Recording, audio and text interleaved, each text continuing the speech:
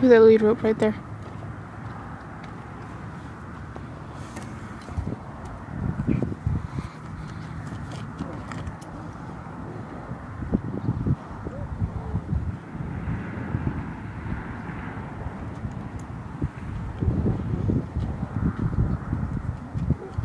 You still need me behind her?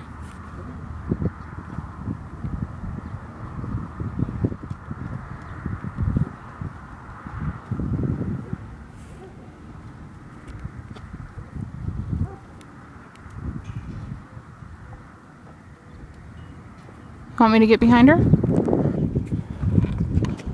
Good girl.